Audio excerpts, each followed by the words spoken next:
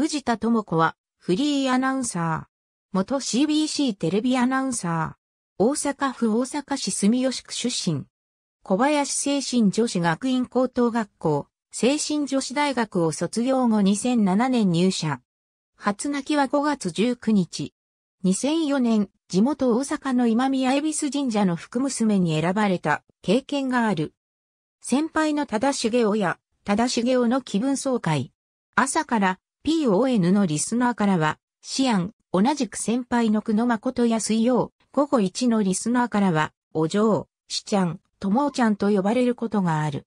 TBS アナウンサーのエッド・アイとも親しい。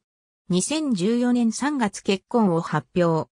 同年6月30日をもって退社し、フリーとなるが、北野誠のズバリ脇、金曜アシスタントとして引き続き担当する。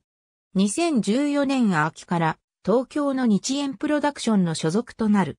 2016年2月19日、第一子妊娠を発表。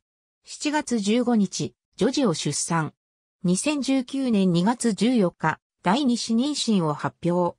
6月20日、男児を出産。